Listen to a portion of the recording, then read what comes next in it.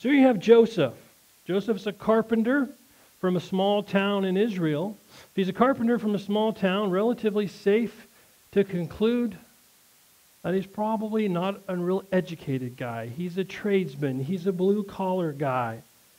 But he's a guy that God said, I can trust. Because the text says that he was a righteous man. And in that narrative, that means he could be trusted to do the right thing. But he's a guy nonetheless. So he's a righteous guy, but he's still a guy. Right? And he's a guy who's now engaged. His family probably set it up, betrothed. Did the Jewish culture, what that meant is you were legally married, so it would require a divorce to break it up. Whereas here, if you're engaged, you could call it off with a tweet, a text.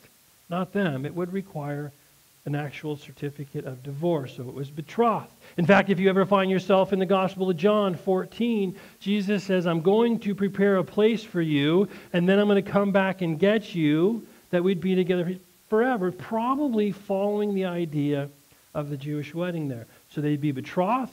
He would take that time and he would go and he would prepare a place for her. He probably would acquire land from his family. He would build her a home. And then when it was time, he would go halfway back to where she was, call her to himself. They'd have a massive, probably one week wedding feast.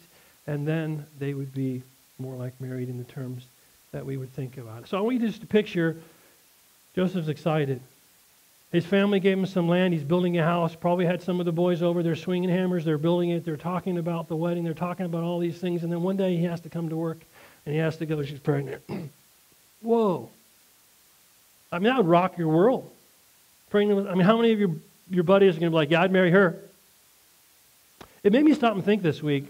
I wonder what the stats are when spouses that have been unfaithful, that have cheated on each other, that actually verbalize it to their friends versus those who don't. Or they have friends who would encourage them to reconcile and forgive versus those who don't. In other words, once you let that out,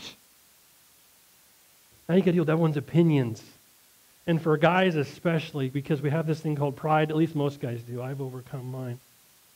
No. Pride will keep you from forgiving. It can be brutal. But imagine this guy. The, the pain, like, wow.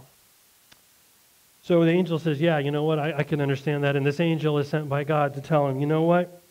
It's going to be okay, Joseph. She wasn't unfaithful to you, she was saving herself for you, but God has chosen her and given her this incredible ministry to bear this son. Joseph had to step up because the penalty for adultery in that first century Jewish culture in the Old Testament was you'd be stoned to death. He's got to protect her from that. He's got to try and protect her reputation. And you see glimpses of it as you study the Bible. Jesus was mocked because his mom was unfaithful, supposedly. But when God wanted someone that he could trust, he chose